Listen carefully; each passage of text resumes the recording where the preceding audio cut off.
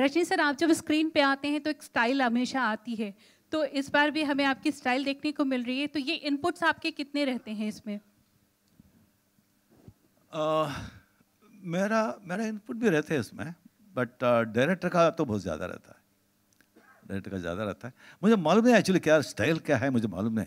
मैं जैसे जैसे लाइफ में जो हर दिन जैसे रहता हूँ वैसे में रहता हूँ। मैं फास्ट मेरा एटीट्यूड क्या है?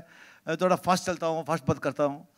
सो so, वो थोड़ा अलग अलग है वो डिफरेंट है this I think it is otherwise I am not particularly ये स्टाइल ऐसे करना ऐसे करना वैसे मत नहीं सोचता मैं। सर हमने धर्म पाजी की एक्शन देखी सनी पाजी की एक्शन देखी आपकी एक्शन देखी। तो रजनी सर के एक्शन में आपने क्या कुछ खास पाया?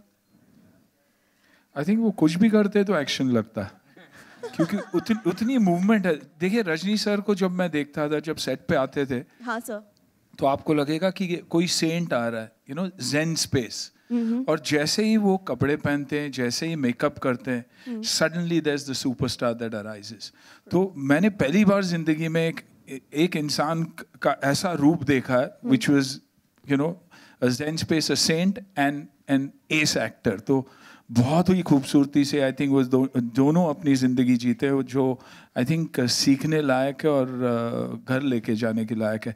I think the only role that Rajni sir can play in the future according to me is is own biopic way he can play a child to the time he is today sir आप sir आप दोनों बहुत reserve इंसान है तो set पे जब scene के लिए बात करनी होती थी तो बात करते थे कि आप दोनों रिज़र्व ही रहते थे? नहीं, बिल्कुल, मैं रजनी सर के साथ ही बैठा रहता था I think I took so many lesson from him तो ये गलत बात है कि हम रिज़र्व रहते थे. I think we to be talking all the time you know और मैं वैसे भी नर्वस रहता था उनके साथ तो मैं कहीं ना कहीं अपने आप को रिलैक्स करता था उनके साथ बैठ के बात करते।